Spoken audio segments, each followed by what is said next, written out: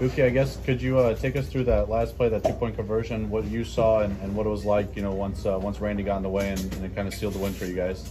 Uh, honestly, I had I was like man on the back. All I remember is seeing the ball on the ground. When I saw a team get, I was like, yes. I knew, I knew it was sealed then. So yeah. You guys had, I think, a season high 15 tackles for loss. I mean, th- How are you guys able to, to slow down their rushing game that was third in the nation coming in?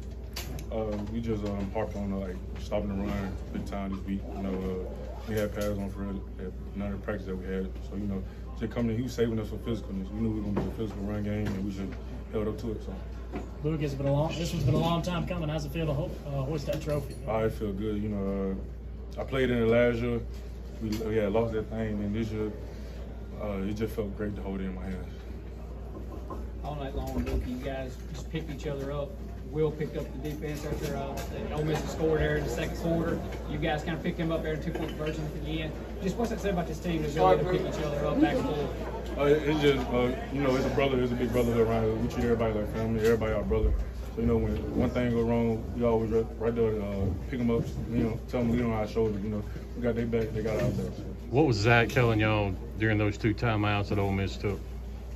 Uh, just be physical, you know, uh, don't let them in the end zone. You know, that's our pride and uh, creed on that.